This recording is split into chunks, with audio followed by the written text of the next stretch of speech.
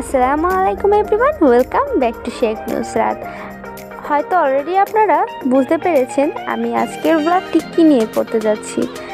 আজকে আমি করতে যাচ্ছি ফুড রিভিউ আর আমি চলে এসেছি বরিশালের একটি ফেমাস রেস্টুরেন্ট জাফরান রেস্টুরেন্টে এই রেস্টুরেন্টের ইন্টেরিয়র ডেকোরেশনটা অনেক সুন্দর। নিচতলা থেকে দোতলাটা একটু নিরিবিলি বলে আমরা দোতলায় চলে যাচ্ছি। আমরা চলে এসেছি জাফরান রেস্টুরেন্টে আমরা খাবার অর্ডার করে দিয়েছি। এখন খাবার সার্ভ করবে। অতক্ষণ আমরা ওয়েলকাম ড্রিঙ্কস খাচ্ছি.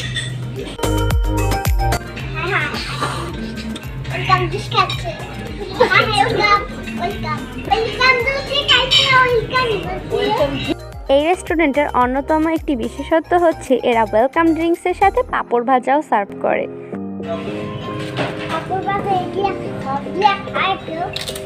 বেবি এত ঠান্ডা কীভাবে খাচ্ছ? বেবি? Baby name. তুমি নেহা? এই তো অপেক্ষার পর শেষ হলো আমাদের খাবার সার্ভ করে দিচ্ছে। এই রেস্টুরেন্টের একটি ভালো দিক হচ্ছে এরা খাবার একেবারেই ফ্রেশ এবং গরম গরম সার্ভ করে বেশিক্ষণ ওয়েট করতে হয় না। আমরা যেহেতু রাতের বেলা এসেছিলাম তো আমরা হেভি ডিনারই অর্ডার করেছিলাম। আমরা নিয়েছিলাম fried rice chicken vegetable spicy chicken fry beef sizzling আর ক্যাশুনাট স্যালাড তারা প্রতিটি খাবারই সবজি দিয়ে তৈরি, ফুল দিয়ে ডেকোরেশন করে দেয়। আমি শুরুতেই বিফ সিজলিংয়ের রিভিউ দিচ্ছি, কারণ সবগুলো খাবারের ভিতরে বিফ সিজলিংয়ের ফ্লেভারটা ছিল অ্যাভারেজ এটার স্মোকি ফ্লেভারটা ছিল একেবারেই লেভেল মতো। ক্যাশুনাট স্যালাডটা একটু ট্যাঙ্কি ফ্লেভারের ছিল। এতে ছিল গাজর, শসা ফ্রাইড চিকেন আর হিউজ পরিমাণে ক্যাশুনাট এখানকার ফ্রাইড রাইসের চিকেনের পরিমাণ অনেক বেশি এবং বড় বড় সাইজের থাকে আর প্রনও থাকে পরিমাণে অনেক বেশি। চিকেন ভেজিটেবলটায় প্রায় সিজনাল সব টাইপের ভেজিটেবলই ছিল। আর চিকেন ফ্রাইয়ের কথায় আসি, চিকেন ফ্রাইটা একেবারেই উপরটা ক্রিস্পি ছিল আর ভিতরটা ছিল একেবারেই জুসি আর নরম।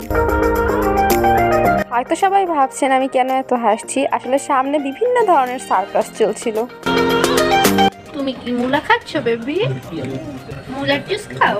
আজকে বাসায় গিয়ে মুলার জুস বানিয়ে দিব। খাবে? Mula tu kana mula. লাস্টে আমরা ডেজার্ট আইটেমে নিয়েছিলাম এখানকার স্পেশাল ফালুদাটা। ফালুদাটা অনেক ক্রিমি আর এতে থাকে বিভিন্ন ধরনের অনেকগুলো লেয়ার আসলে ফালুদা এভাবে ঘুটে ঘুটে সব মিক্স করে না খেলে এটার আসল টেস্টটা বোঝা যায় না। আমি সবগুলো খাবারের প্রাইস আর রেটিং স্ক্রিনে দিয়ে দিচ্ছি, সাথে প্রাইসগুলো আমি ডিসক্রিপশনেও দিয়ে দিচ্ছি। সো আমাদের খাওয়া দাওয়া শেষ।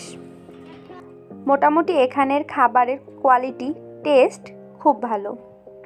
সো আজকের মতো এখানেই বিদায়। আশা করি ব্লগটি আপনাদের অনেক ভালো লেগেছে। ভালো লেগে থাকলে অবশ্যই লাইক কমেন্ট অ্যান্ড শেয়ার করতে ভুলবেন না। আল্লাহ হাফেজ, আসসালামু আলাইকুম বাই বাই